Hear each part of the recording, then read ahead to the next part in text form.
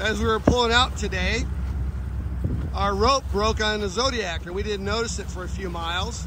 Luckily, we have a tracker on it and we were able to find it. But um, yeah, the broke right in the front there. And here's Jamie. She swam in and got it. Here she is.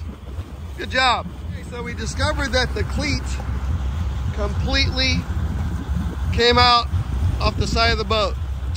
So we would have totally lost the Zodiac if we wouldn't have had the rear camera checking on it. Come on up, James. I'm using our new ladder. Oh yes, the new ladder.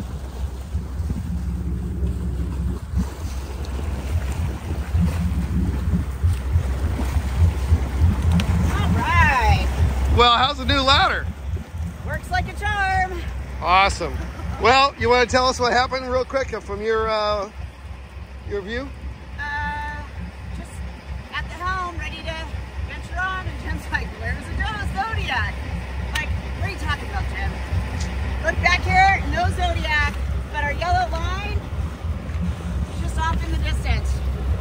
So I reeled it in, reeled it in, found the D-ring completely off.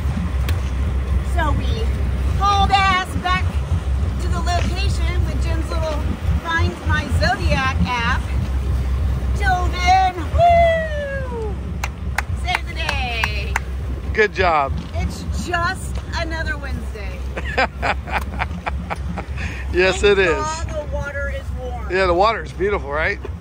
Well, I would not be happy right now. All right. For warm water.